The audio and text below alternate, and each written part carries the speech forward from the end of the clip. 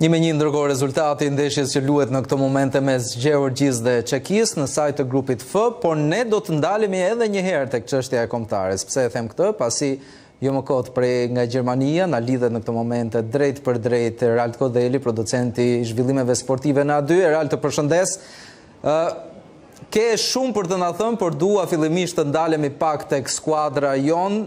cila është gjendja e saj në këto momente që flasim. A është angazhuar në stërvitje dhe çfarë mund themi për përbërësit e saj?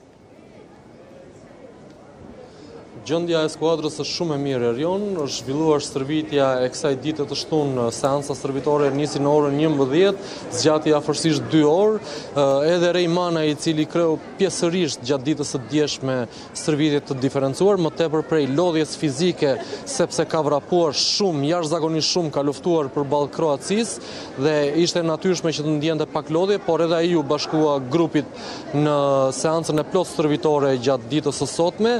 trajneri Silvinjo, fatmirësisht i ka të gjithë futbollistët, të gjithë yjet kuqezi i ka në dispozicion për te ndeshja me Spanjën, ky është një lajm shumë i rëndësishëm, përpara se trajneri të vendosë apo ta ndajë mendjen për atë se cili mund të jetë formacioni titullar që do të hedhë në fushën e lojës të hënën këtu në Düsseldorf. A do jetë ai formacioni që presim, ajo që do bënte finalen e paraprake të këtij Europiani me Spanjën?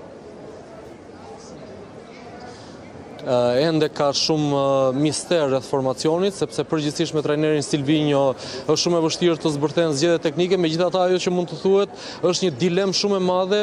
për sa i takon fazës ofensive. Pas paraqitjes shumë të mirë me Italinë, ku i dha një impuls lojës mjaft pozitiv i aktivizuar nga stoli, gjithashtu me paraqitjen e shkëlqyer që bëri ndaj Kroacisë, Arbër Hoxha Ka bërë një presion të jashtëzakonshëm te stafi teknik për një fanellë titullari. Mund të jetë ai që mund të luajë nga minuta e parë, por kjo do të përbënte shumë dilema sepse aktivizimi i Arbër Hoxhës prej minutës së parë, të paktën bazuar në formacionin që pamë në ndeshjen kundër Kroacisë, mund të shkaktonte disa lëvizje. Në formacionin kundër Kroacisë, në qendër luajti Qazim Laçi, ndërkohë që Nedim Bajrami, i cili zakonisht Është aktivizuar në rolin e regjisë, pra pas shpinës së sulmuesit, në qendër të mesfushës, ishte spostuar në krahun e majtë, ndërkohë që Jasir Asani ishte në pozicionin e tij në krahun e djathtë. Aktivizimi i Arbër Hoxhës mund të sjellë lëvizje, mund të ketë një zëvendësim kokë më kokë me Jasir Asanin, por në qoftë se Arbër Hoxha do të luante nga e majta, që është edhe roli i tij natyral, atëherë njëri ndërmjet Qazim Laçit apo Nedim Bajramit do të rrezikonte që të qëndronte në stolin e rezervave. Gjithashtu, është përfolur shumë edhe përpara ndeshjes me Kroacinë për një rokadë të mundshme në krahun e djathtë të mbrojtjes, nuk ndodhi, iu besua sërish fanella e titullarit Elseid Hysaj, por duket se fati i keq në paraqitje nuk e ka ndihmuar shumë yllin shkodran. sepse edhe në golat e Kroacisë ai ishte aty në momentin kur u pësua goli i parë, por edhe në rastin e autogolit të dytë, ka qenë përsëri në qendër kritikave dhe nuk përjashtohet që të paktën këtë herë në krahun e djathtë të mbrojtjes të ndodhë dhe aktivizimi i Ivan Balliut, edhe sepse Erion nuk duhet harruar, Ivan Balliu është një futbollist që luan me Rayo Vallecano në La Liga-n spanjolle dhe i njeh mjaft mirë kundërshtarët në fazën e tyre ofensive dhe për mënyrën se si mund të mbrohemi përballë sulmeve të Spanjës. Erald, shoh që ti je i pozicionuar në Dyseldorf, por çfarë mund të themi për skuadrën tonë kur i drejtohet ajo atij qyteti? Skuadra jonë ka vazhduar stërvitjen sot në Kajserau, në qendrën stërvitore aty ku është grumbulluar, do të zhvillojë edhe seancën e nesërme stërvitore në pikën në vendin e grumbullimit ku ata janë. Prej orës pesëmbëdhjetë do të nisë seanca e fundit stërvitore që cilësohet edhe si seanca zyrtare dhe më pas në orën tetëmbëdhjetë ekipi do të spostohet në drejtim të Dyseldorfit. Distanca nuk është shumë e largët, është vetëm dyzet apo pesëdhjetë minuta me autobus. Ekipi do të vijë në Dyseldorf praktikisht njëzet e gjashtë apo njëzet e shtatë orë përpara se të zbresë në fushë kundër Spanjës. Kush do e manaxhojë këtë ndeshje, Erald? A janë hedhur shortet specifike? Është përcaktuar, është përcaktuar edhe gjyqtari për këtë ndeshje, do të jetë suedezi Glenn Nyberg. Është përzgjedhur që të jetë bilbili kryesor për ndeshjen që do të luhet në Merkur Spiel Arena këtu në Düsseldorf. Është një gjyqtar me stemë ndërkombëtare, normalisht një prej gjyqtarëve më të mirë, sepse jo rastisht në kampionatin evropian përzgjidhen arbitrat më të mirë kontinentalë. Tanimë shpresojmë që Deri më tani gjyqtarët nuk është se kanë ndikuar negativisht për Shqipërinë, të paktën në ndeshjen e parë me Italinë ndodhi ai episod në rastin e golit të Barellas që i dha edhe fitoren të kaltërve kur kemi pretenduar dhe jo pa të drejtë një ndërhyrje të parregullt ndaj Jasir Asanit nga Dimarco. Megjithatë në ndeshjen me Kroacinë kjo nuk u pa, besoj që do të kemi drejtësi dhe besoj që në fushën e lojës do të fusha e lojës do të prodhojë edhe rezultatin më të drejtë për atë se çfarë do të paraqesin skuadrat. E shikoj, po në qoftë se shkëputem nga fusha e lojës dhe zhvendosem aty në fushën ku ti je pozicionuar, jam mësuar gjithmonë në Dortmund dhe Hamburg të paktën të të shoh të rrethuar nga mijëra tifozë. Pse të kanë lënë vetëm sot?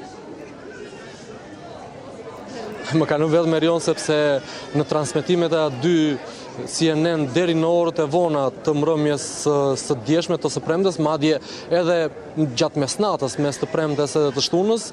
Tifozët shqiptarë të cilët kanë ardhur këtu në Dyseldorf kanë festuar, kanë bërë që zëri i tyre të ndihet, por grumullimi masiv mendoj që do të nisë prej pasditës së sotme për të nisur më pas festën madhështore të dielën dhe me një marshim spektakolar ta garantoj dhe jua garantoj gjithë shqiptarëve të hënën, ashtu siç ndodhi në Dortmund apo siç ndodhi edhe në Hamburg, madje mund të jap edhe disa shifra.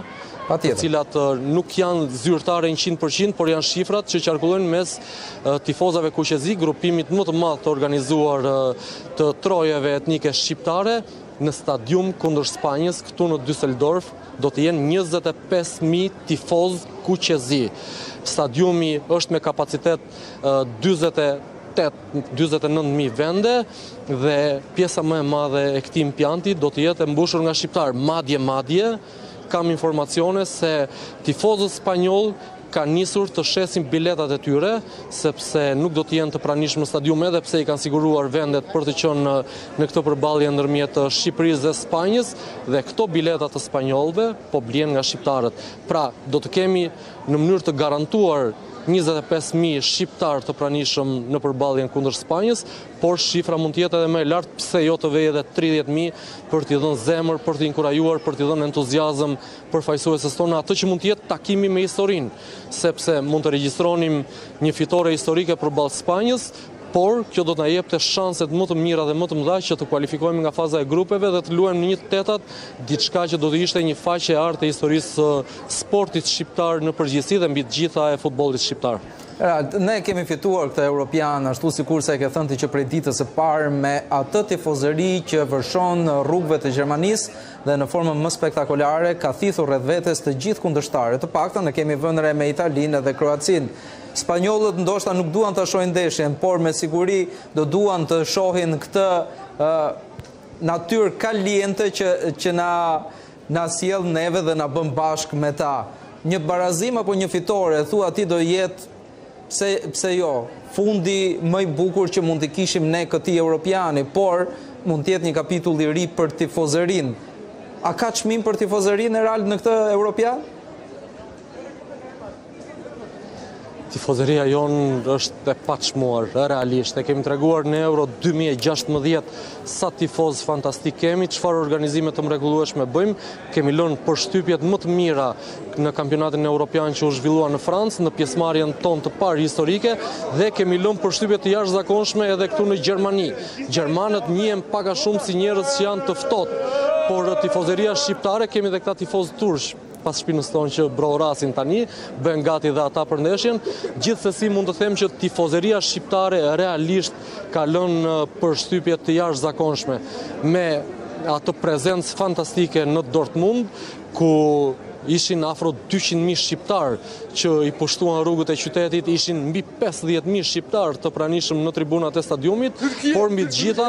dhamë një provë shumë të mirë dhe spektakolare edhe me atë që ndodhi në Hamburg përballë Kroacisë, edhe në një stadium të ndarë praktikisht gjysmë për gjysmë mes dy tifozerive, marshimi ishte spektakolar, korrektësia ishte në nivele maksimale dhe tifozeria në stadium ishte thjesht e jashtëzakonshme dhe e shkëlqyer, duke e motivuar dhe skuadrën që mos të dorëzohej deri në sekondën e fundit, që të arrinte të barazonte një ndeshje e cila në fakt ndoshta duhej fituar. Tanimë kjo tifozeri do të thotë fjalën e saj dhe mund të jetë vendimtare edhe përballë Spanjës. Nuk duhet të harrojmë që Shqipëria ka një avantazh shumë të madh. Spanja është skuadrë që është kualifikuar për në fazën e një të tetave, dhe trajneri De La Fuente e ka pranuar që do të aktivizojë në fushën e lojës lojtarët që kanë patur më pak hapësira. Përballë rezervave të Spanjës, Shqipëria realisht mund të marrë një rezultat historik pozitiv. Barazimi do të ishte i jashtëzakonshëm. Fitorja do të ishte një mrekulli sepse jo thjesht që do të mundim një skuadër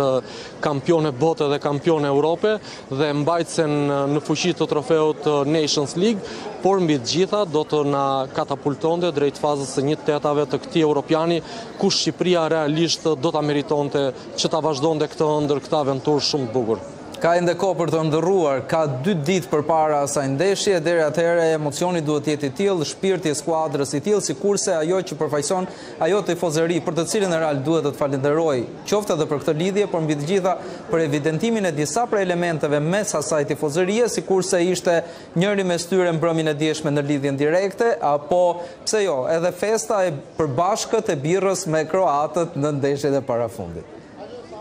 Faleminderit. Ja u thash, tifozët shqiptarë kanë lënë përshtypje të jashtëzakonshme dhe po shtohen radhët e mbështetësve shqiptarë, madje kur luan Shqipëria, kur Shqipëria luante kundër Kroacisë, këtu në Düsseldorf, një grup i vogël shqiptarësh po e shihnin ndeshjen të rrethuar nga tifozët irlandezë dhe anglezë dhe të gjithë filluan që të mbështesnin kombëtaren shqiptare. Kemi gjak të ëmbël Erion. Caliente! Le ta, le të shpresojmë që spanjollët do e pëlqejnë këtë dhe do na shohin, pse jo, të na lënë pak portën hapur. Erald, faleminderit edhe një herë që ishe në këtë lidhje të drejtpërdrejtë.